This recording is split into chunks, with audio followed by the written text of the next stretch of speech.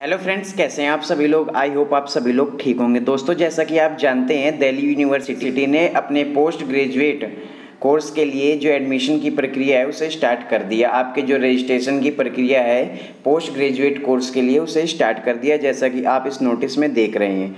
यहाँ पे शो हो रहा है कि आपके जो पोस्ट ग्रेजुएट प्रोग्राम है, उसकी जो डेट है, वो 26 जुलाई से स्टार्ट है और 21 अगस्त तक आपके पोस्ट ग्रेजुएट प्रोग्राम के जो रजिस्ट्रेशन है वो चलेंगे। और ऐसे में एनटीए ने एक नोटिस जारी किया है कि आपके जो पोस्ट ग्रेजुएट, अंडर ग्रेजुएट और साथ के साथ एम और पीएचडी प्रोग्राम के लिए जो आपका एंट्रेंस टेस्ट होना है तो यहाँ पर आपको एक नोटिस रिलीज़ किया गया है एनटीए के द्वारा। यहाँ पर बताया गया है कि आपका जो डुएट है 2021 पोस्ट ग्रेजुएट एम फिल और अंडर ग्रेजुएट प्रोग्राम के लिए वो यहाँ पर बताया गया है 26, सत्ताईस अट्ठाईस उनतीस तीस सितंबर और 1 अक्टूबर यानी 26 सितंबर से लेकर 1 अक्टूबर तक कंडक्ट करवाया जाएगा।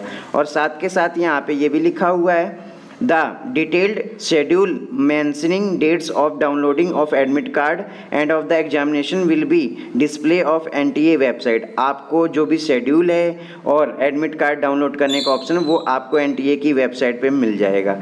इसके साथ साथ यहाँ पे ये भी बताया गया है कि आपके जो एडमिशन की प्रक्रिया है पोस्ट ग्रेजुएट प्रोग्राम के लिए, वो यहाँ पर बताई गई है एम फिल प्रोग्राम के लिए, जैसा कि आप जानते हैं, आपके पोस्ट ग्रेजुएट प्रोग्राम और एम और पीएचडी प्रोग्राम के लिए जो रजिस्ट्रेशन की प्रक्रिया है, वो स्टार्ट हो चुकी है और आपके जो अंडर ग्रेजुएट जितने भी प्रोग्राम हैं, उसकी जो रजिस्ट्रेशन की प्रक्रिया है, वो दो अगस्त से स्टार्ट होगी।